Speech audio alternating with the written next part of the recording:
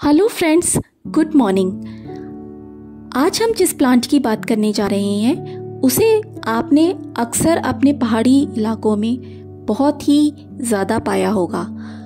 जी हाँ हम बात कर रहे हैं देवदार के पेड़, यानी कि सेड्रस डिओड्रा के। ये प्लांट करीब 100 से 200 साल तक ज़िंदा रहता है, और ये हमारे बहुत सारे रोगों में भी बहुत ज़्यादा हेल्पफुल होता है। जैसे अस्थमा, बुखार ऑर्थराइटिस हेडेक पाइल्स मिर्गी, किडनी या फिर यूरिनरी प्रॉब्लम्स में भी ये बहुत ज़्यादा मददगार होता है।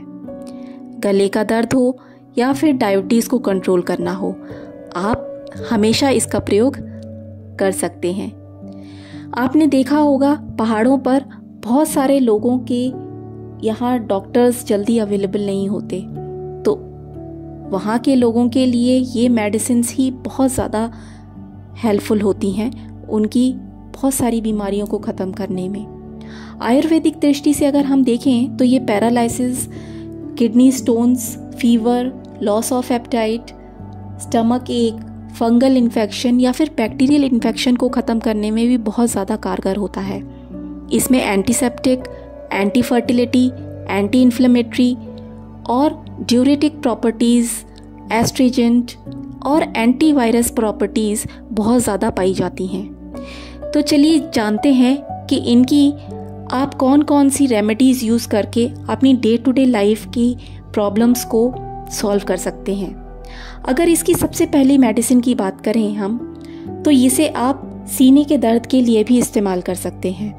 आप देवदार के पेड़ के दो ग्राम चूर्ण को लेकर और पाँच ग्राम गुड़ में मिलाकर उसे घोट कर गोली बना लें और उसका सेवन करें तो आप देखेंगे कि सीने का दर्द बहुत ही जल्दी ठीक होता है। इसे आप अपने हृदय रोग के लिए भी यूज़ कर सकते हैं। हार्ट प्रॉब्लम्स के लिए अगर आप देवदार और सौंठ को पीस कर उसका काढ़ा बनाकर पिए तो आप देखेंगे कि आपका बीपी बहुत ही जल्दी नॉर्मल होता है। अगर आप इस, इसका प्रयोग बुखार के लिए करना चाहते हैं तो देवदार ग्लोए और पीपली को मिलाकर उसका काढ़ा अगर आप पिए तो इससे श्रेष्ठ दवा तो शायद ही कोई होगी।